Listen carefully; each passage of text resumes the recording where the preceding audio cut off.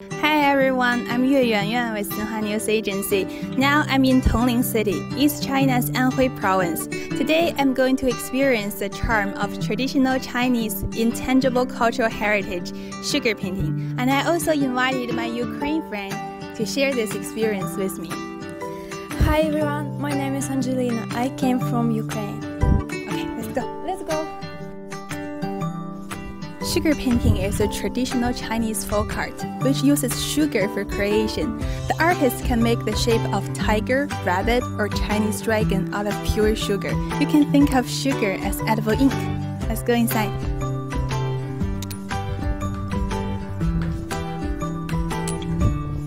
张老师您好。您好，今天我带了一位外国朋友来跟您一起学习如何做糖画。 this is Zhou Lian, an inheritor of sugar painting. She's going to show us how the special painting is done. The sugar painting artist uses a ladle to pour melted sugar back and forth on the slate to draw shapes. When the sugar cools down, pick up the stick. A piece of sugar art is finished. You want to try it? Yes, of course. Let's do it.